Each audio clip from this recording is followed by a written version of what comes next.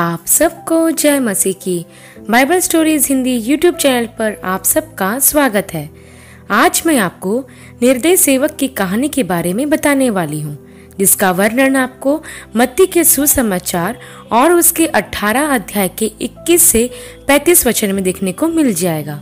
इससे पहले प्रियो, कि हम वीडियो को शुरू करें, आप हमारे Bible stories Hindi YouTube channel को सब्सक्राइब करना और बेल आइकन को दबाना ना भूलिएगा। तो आइए प्रियो, हम वीडियो को शुरू करते हैं। यह उस समय की बात है, जब प्रभु यीशु मसीह अपने चेलों से बातें कर रहे थे और उन्हें उनके सवालों के जवाब दे रहे थे, क्योंकि प्रभु यीशु मसीह के चेलों के मन में बहुत सारे सवाल थे। तब पतरस ने भी प्रभु यीशु मसीह के पास आकर उससे एक सवाल पूछा और कहा कि, हे प्रभु, यदि मेरा भाई अपराध करता रहे तो मैं उसे कितनी बार क्षमा करूँ? क्या सात बार तक? तब प्रभु यीशु मसीह ने उससे कहा, मैं तुझसे यह नहीं कहता कि सात बार तक, वरन सात बार के सत्तर गुने तक। प्रियो, पतरस ने जब यह सवाल किया कि उसे अपने भाई को कितनी बार क्षमा करना है, तब उसने अपने प्रश्न में यह भी पूछा कि क्या सात बार तक? यहाँ पर हमें यह समझना है प्रियो कि अंक सात पूर्णता को दर्शाता है। इसके साथ ही पतरस ने यह भी सोचा कि यदि वह यह कहेगा कि क्या सात बार तक तो वह प्रभु यीशु मसीह को बता सकेगा कि वह अपने भाई के प्रति ज़्यादा ही अनुग्रह जता रहा है। कहने का मतलब यह है कि पतरस प्रभु यीशु मसीह के मुख से अपनी प्रशंसा सुनना चाहता था। क्योंकि जब आप इसी अध्याय के एक वचन को पढ़ोगे तो आप पाओगे कि चेले प्रभु यीशु मसीह के पास यह जानने के लिए आए थे कि स्वर्ग के राज्य में बड़ा कौन है। और जब आप चेलों के बारे में और अधिक जानोगे तो आपको पता चलेगा कि चेलों में हमेशा यह होड़ रहती थी कि सबसे अच्छा चेला कौन सा है। इसलिए प्रियो, पतरस जो कि बड़बोला व्यक्ति था, उसने कई बार चेलों के सामने प्रभु से यह जानने का प्रयास किया कि प्रभु का सबसे प्रिय चेला कौन सा है। इसलिए वह प्रभु के अंतिम समय में उससे कहता है कि, प्रभु, मैं तेरे साथ मरने, वरन क्रूज पर चढ़ने के लिए भी तैयार हूँ। और उसके जवाब में प्रभु ने उससे क्या कहा, वो हम सब जानते हैं। इस घटना में पतरस के सवाल का जवाब प्रभु यीशु मसीह ने उसकी सोच से परे दिया। प्रभु ने उससे कहा कि सात बार नहीं, वरन सात बार के सत्तर गुने तक। यहाँ प्रभु यीशु मसीह यह नहीं कह रहे थे कि हमें अपने भाई को 490 बार क्षमा करना चाहिए, बल्कि प्रभु यीशु मसीह का ऐसा कहना असीमित क्षमा का प्रतीकात्मक तरीका था।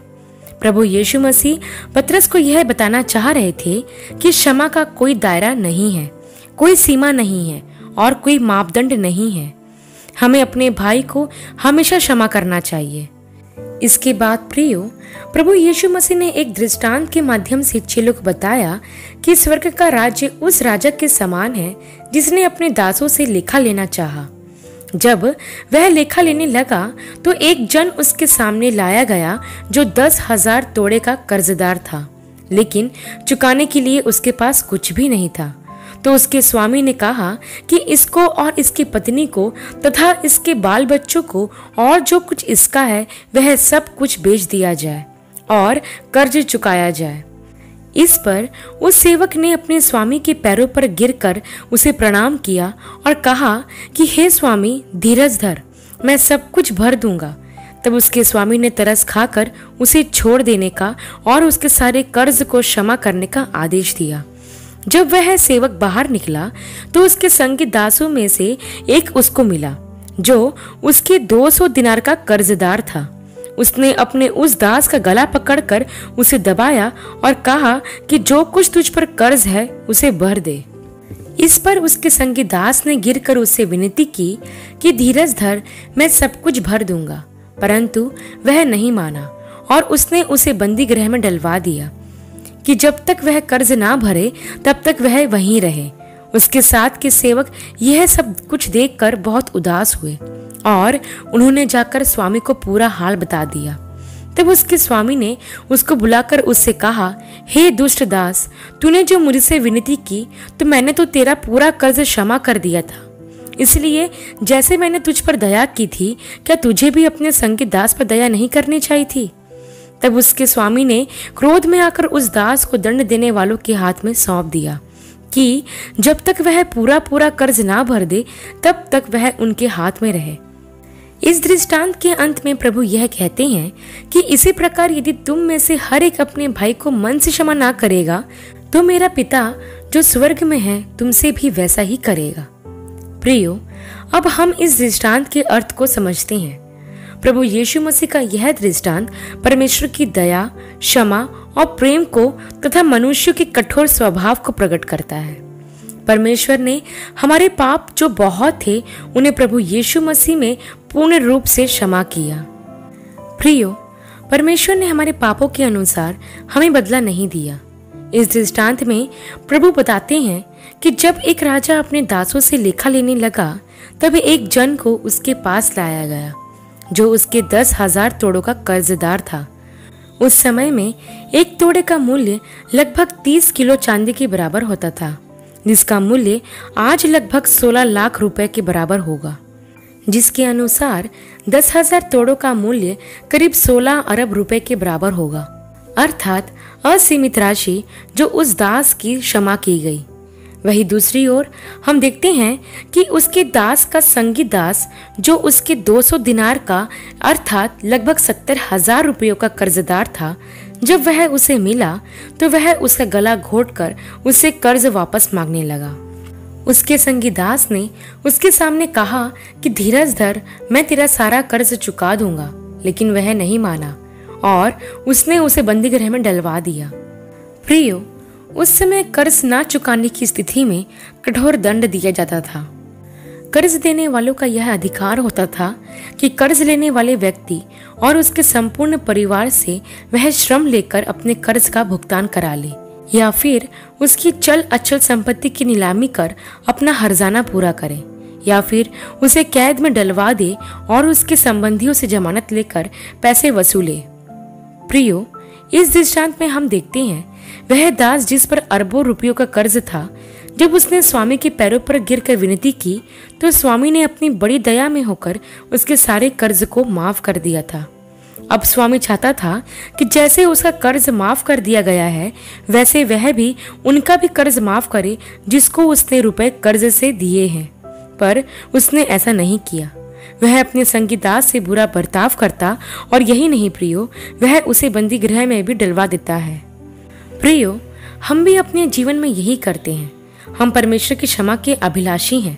हम चाहते हैं कि परमेश्वर हमारे सारे गुनाह माफ़ कर दे, लेकिन यदि कोई हमारे विरुद्ध अपराध करता है तो हम उसे क्षमा नहीं कर पाते। प्रियो, पापों का दंड हमें मिलना था। वह प्रभु यीशु मसीह ने स्वयं सहकर हमें दंड से मुक्त कर दिया है। परमेश्वर ने हम पर दया की, क्योंकि वह जानते थे कि हमारे पापों की क्षमा के लिए अब कोई बलिदान बाकी नहीं रहा। हम पापों की क्षमा अर्जित करने में असमर्थ थे। तब परमेश्वर ने स्वयं अपने बेटे, इकलौते बेटे को हमारे पापों की क्षमा के लिए बलिदान कर दिया। उसने अपनी दया और क्षमा का अनोखा उदाहरण प्रस्तुत किया। ठीक उसी तरह है जिस प्रकार इस दृष्टांत में पहले दास ने राजा से अरबों रुपए उधार ले रखे थे, जब राजा ने उससे इन रुपयों का हिसाब किताब मांगा तो वह दास राजा के क्रोध और दंड से बचने के लिए राजा से दया की भीख मांगने लगता है और वह राजा के पैरों में गिर जाता है और राजा भी उसकी हालत देखकर समझ जाते हैं कि वह कर्ज चुका पाने में असमर्थ है। इसलिए राजा उस पर तरस खाता है और उसे दंड दिए बगैर उसका कर्ज क्षमा कर देता है। अब आप कल्पना कीजिए प्रियो कि इस दास की खुशी कितनी बड़ी होगी, जिसका इतना बड़ा कर्ज माफ़ कर दिया गया हो। उसकी सारी चिंताएँ दूर हो गई होंगी। अब उसे राजा को एक रुपए भी नहीं लौटाना है। जब वह राजा के दरबार से बाहर आता है तो उसे उसका संगीत दास मिलता है और उसे याद आता है कि उसके उस दास ने उससे 200 दिनार उधार लिए हैं और उसे अभी तक नहीं लुटाया है। वह राजा की असीमित दया को भूल जाता है और वह भूल जाता है कि राजा ने उसके अनगिनत रुपयों का कर्ज माफ़ कर दिया है। और वह अपने उस दास के साथ निर्दयता पूर्वक व्यवहार करता है। यही नहीं प्रियो, वह उसके गिड़गिड़ाने पर भी ध्यान नहीं देता और उसे कर्ज भरने के लिए कहता है। प्रियो, ठीक इसी तरह से हम भी अपना पश्चातापी मन लेकर प्रभु यीशु मसीह के पास आते हैं और यह स्वीकार करते हैं कि पापों की क्षमा अर्जित करने में हम पूरी तरह असमर्थ हैं। हमें उद्धार केवल यीशु मसीह से ही मिल सकता है। तब वह हमें पाप के बोझ से पूरी तरह से आज़ाद कर देता है। वह इस क्षमा के बदले में हमसे धन दौलत नहीं माँगता, बल्कि वह हमसे बदले में सिर्फ़ इतनी अपेक्षा करता है कि जिस तरह से हमारे अपराध क्षमा किए गए हैं, हम भी उसी तरह दूसरों के अपराध क्षमा करें। हम परमेश्वर के दया के योग्य नहीं थे, फिर भी उसने हम पर दया किया है। उदाहरण के लिए, मान लीजिए, अगर दो भाइयों में आपस में झगड़ा हो जाए और वह झगड़ा इतना बड़ा हो कि वे दोनों एक दूसरे को माफ़ भी करना नहीं चाह रहे हों। तब वह यह कहते हैं कि मेरा भाई मेरी क्षमा के लायक नहीं है, मैं उसे माफ़ नहीं कर सकता। प्रियो, ऐसा बोलने से पहले उस भाई को परमेश्वर की ओर नज़रें उठाकर यह देखना चाहिए कि मैं परमेश्वर की क्षमा के लायक हूँ या नहीं।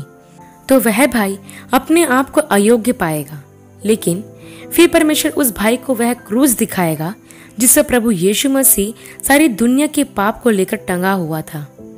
जो यह प्रकट करता है कि परमेश्वर ने हमें प्रभु यीशु मसीह में पाप के हर बोझ से आज़ाद कर दिया है। प्रियो, हम भी परमेश्वर की क्षमा के योग्य नहीं थे, लेकिन फिर भी हम पर दया हुई। और प्रभु यीशु मसीह ने अपनी प्रार्थना में भी हमें यह सिखाया है कि जिस प्रकार हमने अपने अपराधियों को क्षमा किया है, वैसे ही तू भी हमारे अपराधों को क्षमा कर।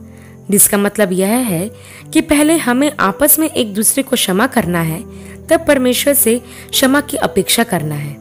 यदि हम परमेश्वर से दया और क्षमा की अपेक्षा करते हैं, लेकिन अपने भाई को क्षमा नहीं करते तो परमेश्वर न्याय के दिन हम पर भी दया नहीं करेगा। क्योंकि याकूब दो अध्याय और उसके तेरह वचन में लिखा है कि जिसने दया नहीं की, उसका न्याय बिना दया के होगा। हम एक बात हमेशा ध्यान रखें प्रियो, कि जैसा व्यवहार हम इस संसार में दूसरे मनुष्यों के साथ करते हैं, उसका भी लेखा हमें एक दिन परमेश्वर को देना है। इफिसियों की पत्री चार अध्याय के बत्तीस वचन में लिखा हुआ है कि एक दूसरे पर कृपालु और करुणामय हूँ। और जैसे परमेश्वर ने मसीह में तुम्हारे अपराध क्षमा किए हैं, वैसे ही तुम भी एक दूसरे के अपराध क्षमा करो। हाँ प्रियो परमेश्वर का वचन बार बार हमें प्रोत्साहित करता है कि हम लोगों को क्षमा करें। हमारे विरुद्ध चाहे किसी ने भी कितना ही बड़ा अपराध क्यों न किया हो, प्रभु हमसे कहते हैं कि हम उन्हें क्षमा करें। प्रियो, एक बात हम हमेशा याद रखें कि क्षमा परमेश्वर में हमारे विश्वास और एक दूसरे के प्रति हमारे प्रेम का आधार है। जब हम मसीह में आते हैं और प्रभु यीशु मसीह पर विश्वास रखते हैं तो प्रभु यीशु मसीह के द्वारा हमारे सारे गुनाह माफ़ हो जाते हैं। बाइबल हमको यह बताती है कि वह हमारे पापों को अपनी पीठ के पीछे फेंक देता है। वह फिर कभी हमारे अपराधों को स्मरण नहीं रखता। वह हम पर दया करके हमें एक नई शुरुआत करने का मौका देता है। जब हमारा परमेश्वर हमारे पापों और अपराधों को स्मरण नहीं रखता तो फिर क्यों हम अपने साथ रहने वाले उन लोगों के पाप या अपराध स्मरण रखते हैं जो उन्होंने हमारे विरुद्ध किए हैं? जैसे परमेश्वर हमारे पापों को अपनी पीठ के पीछे फेंक देता और फिर उन्हें स्मरण नहीं करता, हमें भी अपने भाइयों के साथ ऐसा ही करना चाहिए।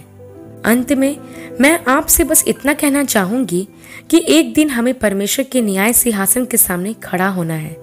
और अपना हिसाब उसे देना है। उस दिन, यदि हम प्रभु परमेश्वर की क्षमा पाना चाहते हैं तो हमें आज अपने अपराधियों को क्षमा करना ज़रूरी है। प्रभु की इस बात को हमेशा याद रखें, जो उन्होंने कही थी कि यदि तुम में से हर एक अपने भाई को मन से क्षमा ना करेगा तो मेरा पिता जो स्वर्ग में है, तुमसे भी वैसा ही करेगा। हाँ प्रियो, आपको अपने भाई को मन से क्षमा करना है, और उसने आपके प्रति जो भी अपराध किया है, उसे आपको भूल जाना है। नहीं तो आपका अंजाम भी उस सेवक के जैसा होगा, जिसके अरबों रुपए के कर्ज को तो माफ़ कर दिया गया था। लेकिन, उसने अपने संगी दास के थोड़े से कर्ज को माफ़ नहीं किया। और इसका परिणाम यह हुआ कि वह दंड देने वालों के हाथ में सौंपा गया। यदि हम यह चाहते हैं कि हमारा अंजाम उस निर्देश सेवक के समान ना हो तो आज ही उस हर एक व्यक्ति को अपने मन से क्षमा करे, जिन्होंने आपको दुख दिया हो, यातना दी हो, या फिर आपके प्रति किसी भी प्रकार का अपराध क्यों ना किया हो।